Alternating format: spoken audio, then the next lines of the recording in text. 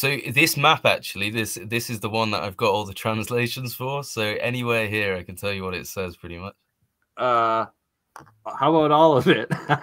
okay, so if you okay, right, okay, we'll start then. Um, so it says the Nephilites are named Nephtali after one of the ten tribes with a Hebrew name, and after the Danites, who by way of punishment were called the Danes of the Dark North.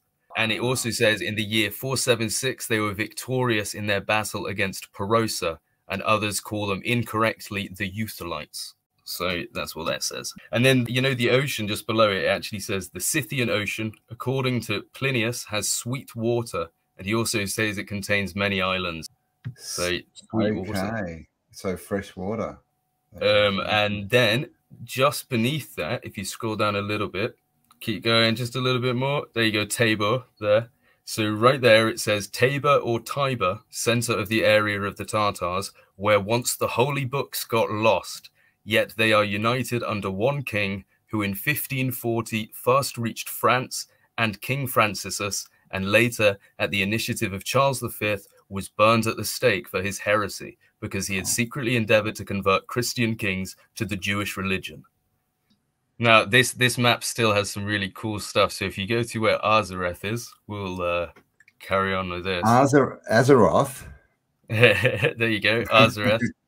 this one says here, the ten tribes retreated and changed from the Tatar or Tartar area to Scythia. Since then, they are called the Goths or the Gothans, confirming God's highest glory. And here lies the splendid kingdom of Cathay.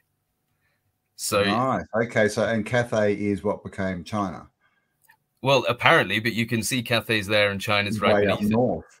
Mm. Yeah. So, but then right beneath it at Argon, it says Argon. Uh, I'm like, this is. Are you sure this isn't a Tolkien map? So this one, it says once there was in Asia. Oh, in fact, you know what? Saying that, there's actually a place here called Summon Gul. Now, if that doesn't sound like Mordor, what uh, is? I don't know if it's on really? this. One. Yeah, really? but there is one place. Yeah, but anyway, so Argon wow. Once there was in Asia a Christian kingdom known to Prester John, and D. Thomas founded it in this place, so that it was in contact with the Church of Rome, and it was here subjected to the Church of Rome through Prester John of Africa. Before it was defeated by the Goths, it was known as Crive Romove. Cry or Crive? Crive, like C R I V E, and then R O M O V E, like Romove. So again, it's really interesting because I I don't know if it's obviously referring to the actual Rome or if it's trying to say that there was another Crive removed that got defeated. Ah, okay. So that's by Goths. So does Romanov mean from Rome? Is that what Romanov means? That they're from uh, Yeah, I think so. Pretty certain. So, so the rules. Well, no, it's Romani. Romani is from Rome. Sorry, Romani is Rome. Yeah, yeah. Exactly. Romanov though could be just the the Russian version, couldn't it? Exactly. That's exactly what it sounds like. hundred percent, it is.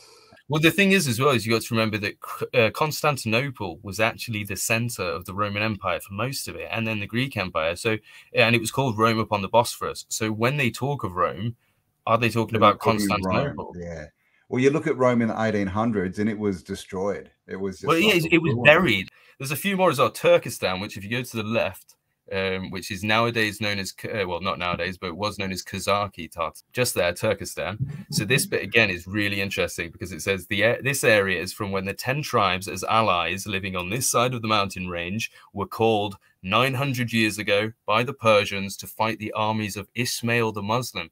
Now Ishmael is uh, uh, Abraham's son, as in the prophet. Ishmael. Wow. And he's supposed to live in 1600 BC. This says 900 years 900 prior to this map. So that means 700 AD. How the hell was Ishmael alive in 700 AD? If you look at the top, just um, follow the Volga River from the Caspian there on the left. So you see that, yeah, just follow that little river up, and at the top you can see a place called Bulga just there under your hand. Yeah, yeah, that, oh, Bulga, yeah.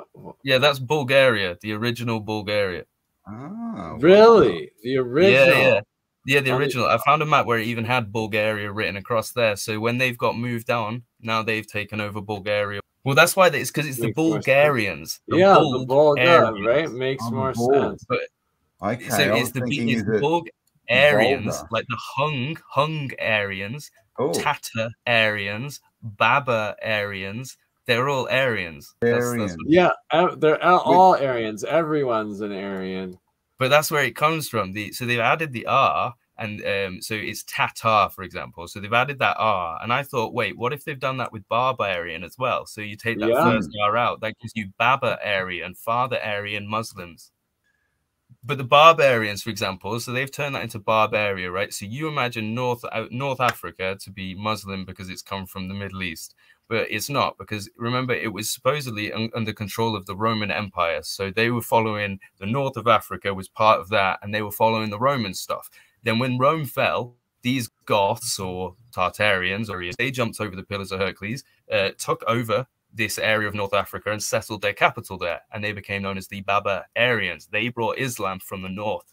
Okay. So you know the the Islam came with them from Germany across Spain and down into into North Africa. It didn't come from the Middle East.